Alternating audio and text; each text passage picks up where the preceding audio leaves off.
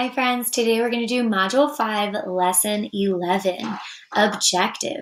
Show, count, and write numbers 11 to 20 in tower configurations increasing by one, a pattern of one larger. So just like if anybody remembers the baby bear trying to get to the honey pot or the baby bear trying to get back down to her den, this is the stair step one more that configuration that we're talking about today. And what pretty rainbow um, block towers we have today. All right, we're going to play a game called One More. I want you to say one more than you see on the Rekenrek. So, for example, we have 10 up here, and I want you to say 10 and 1, 11. Good. Say that for me.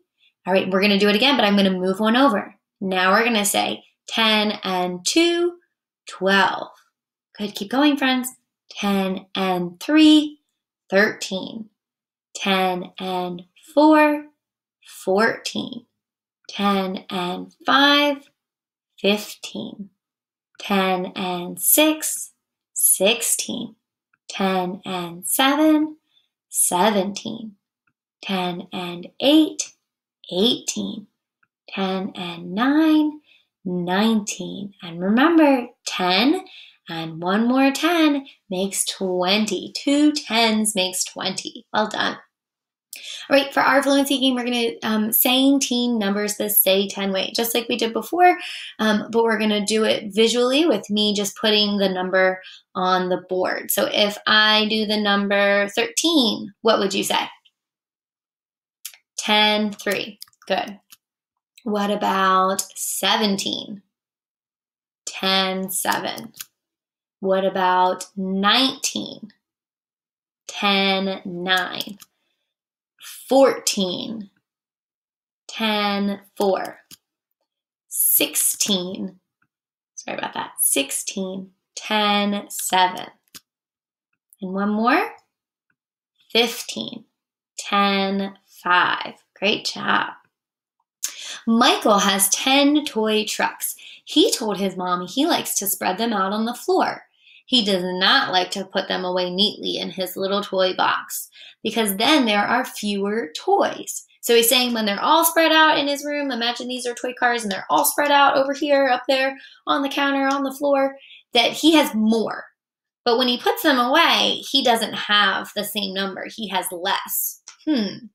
Let's draw a picture to prove to Michael that the number of toy trucks is the same when they are all spread out as when they are in the little toy box. So I am going to represent this picture by getting out my marker and I'm going to show um, Michael's toys neatly put away inside this treasure chest.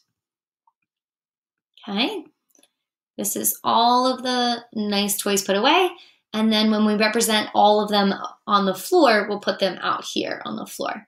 So you can draw a box on your paper too, and we will see if Michael is right. Does he have more when they're on the floor or the same as when they're put away neatly in his trunk? All right, he has 10 toy trucks. So we need to do 10. We can go with the big one. One, two, three, four, five, six, seven, eight, nine, 10. Nice and neat. Toys in the toy chest. He has 10. All right, here are my 10 on the floor. One, two, three, four, five, six, seven, eight, nine, 10. Does he still have 10 toy trucks, the red ones, even though they're all spread out?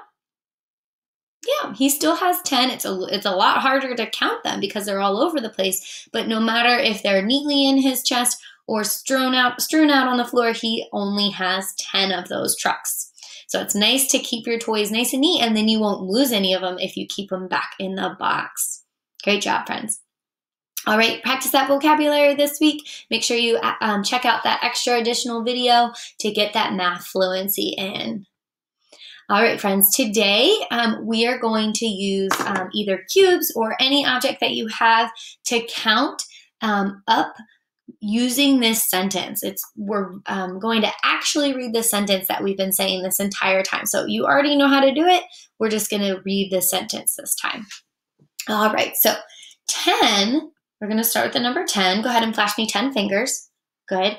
10, one more is good reading. So read the sentence. 10, one more is 11. Great job.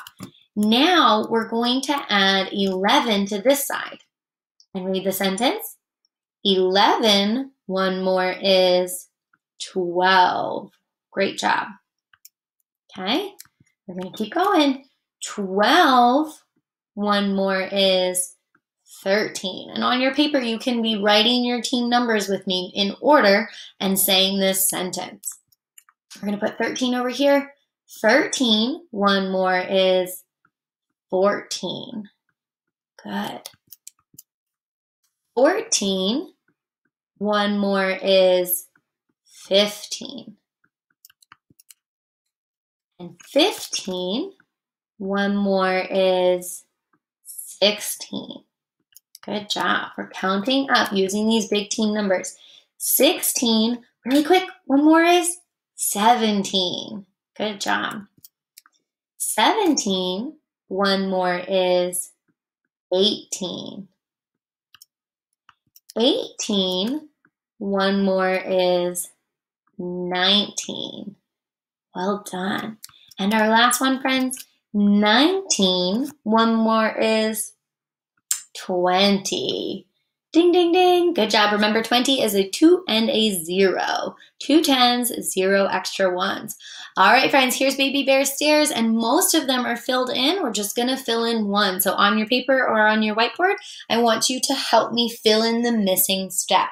First, let's figure out which step is missing. Get my marker ready. All right. 10, 11, 12, 13, 14, 15, 16. what number is missing? 17, 10, and a 7. So when we take a look at the steps to help us draw our own steps, what do we notice? Each step goes up by one cube. So when we do 17, we need to go up by one more cube and stop here. When you're drawing your cubes at home, take your time. And remember how Miss Plitt showed you um, to draw your cubes? You can draw a long rectangle, okay? And don't close it yet and count as you go. And do it carefully so that you don't make any mistakes. You can also close off this and say 10, right? That's 10 blocks we're going to represent right there.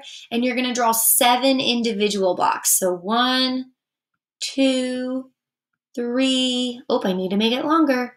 Four, five, six, seven. And then I can close out my tower. And I can go back and double check that I have seven individual cubes to make 17. Try to make 17 on your board while I fill in our stair steps. We have 10 blue ones, and seven. I'm gonna whoop one more up. Seven red stairs to get baby bear all the way to the top. Great job. All right, last example, friends. We are going to fill this in with circles and X's. But first, let's look at what number is missing. 10, 12. What number is missing here? 11, a 1 and a 1. This 1 represent tens one, 10 ones and one extra one. Now let's look at our drawing. They have 10 circles and then after they got to 10, they switched to X's. So we, our job is to fill in 12 the same way. So how many circles? 10. And how many X's will we have? 10, 2, 12. So we need two X's. Let's go ahead and get started. Get my marker here. So we are going to do 10 circles. One, two, three, four, five, six, seven, eight, nine, ten. And now we need two X's to represent 12. One, two. What would be the next number in this sequence? 12, 13. And how many X's would 13 have? Three, because we're representing the ones column with X's. We're representing the tens column with circles. Great job, friends. Thanks for joining me.